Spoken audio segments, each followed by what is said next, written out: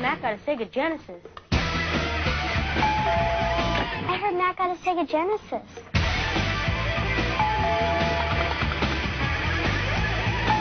Well, I guess one more is okay.